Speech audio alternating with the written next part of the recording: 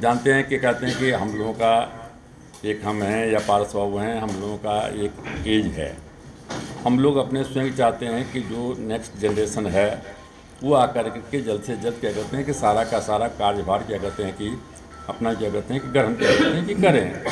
तो इसलिए उसमें जो आपने कहा है, उसमें कोई अथी नहीं है। वो मानते हैं कि जो जो इन्होंने कहा कि प्रोसेस है। हम लोग चाहते थे कि नेशनल एग्जीक्यूटिव की बैठक जो है, इसी बीच में क्या कहते हैं कि बुला लें। लेकिन हो गया, चुनाव का घोषणा हो गया। अब चुनावी घोषणा में सब लोग क्या कहते हैं कि चुनाव के बाद क्या कहते हैं कि जाएँगे। चुनाव के बाद नेशनल एग्जीक्यूटिव की बैठक होगी।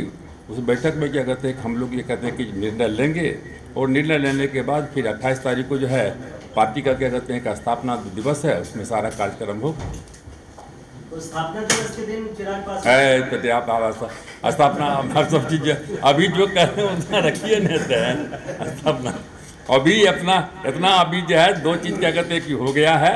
लेकिन हमने जैसा कि हमने कहा कि जो है उसमें क्या कहते हैं कि जो कुछ हम लोग अपने चाहते हैं पार्टी को हमको आगे बढ़ाना है नया जनरेशन को आना है समझने के। और सब लोगों को क्या कहते हैं कि नए जो यूथ हैं उनको जोड़ना है तो उसमें क्या कोई समस्तीपुर में कैंडिडेट कौन होंगे? अभी देखिए कैंडिडेट हम लोक जनशक्ति पार्टी वहाँ से चुनाव जीती थी। रामचंद्र पासवान क्या कहते हैं कि जीते थे। लेकिन मानते हैं कि हम लोग जब तीन दल हैं वहाँ तो हम लोग तीनों क्या कहते हैं कि बैठेंगे कल क्या कहते हैं कि चिराग जगत जाएँगे बिहार जाएँगे सीएम से भी बात करेंगे। हमारी क्या कहते हैं कि जो है जो ऊपर के नेताओं से भी बातचीत हुई है हम लोग की बात हो रही है। सब लोग बैठ कर तय कर लेंगे। तो सीएम पद का चेहरा कौन रहेगा अब लीजिए अब कहाँ से कहाँ अब चले गए। जब जनरल चुनाव होगा तब चिराग चिराग जी से सवाल है। हाँ चिराग चिराग जी आपको नया अध्यक्ष बना दिया गया है तत्काल प्रभाव से। आपकी प्राथमिकताएँ क्या होंगी बिहार को लेके? किस तरीके से आप बिहार में काम करने वाले चुनाव को लेकर और भविष्य को लेकर? देखिए, प्राथमिकता संगठन को मज़बूत करना। लोक जनशक्ति पार्टी का एक, बड़ा जनाधार रहा है वहाँ पर।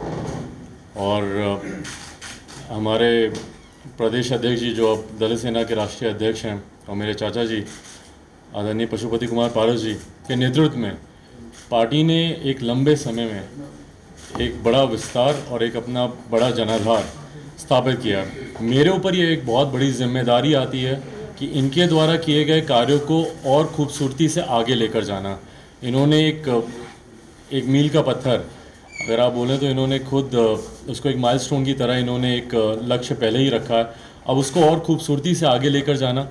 पार्टी को और मज़बूत करना, आगे बढ़ाना, यही प्राथमिकता होगी। और मैं उम्मीद करता हूँ कि दलित सेना के राष्ट्रीय अध्यक्ष जी और मेरे चाचा जी, इनका निरंतर उसमें मार्गदर्शन मुझे मिलता रहेगा, क्योंकि इनका जो अनुभव है, उसके बनस्पत मेरा कुछ भी नहीं है। तो निरंतर इनसे मार्गदर्शन लेते हुए, इनसे सीखते हुए, इनसे सुझाव लेते हुए, पार्टी को और मज़बूत करना ये प्राथमिकता होगी।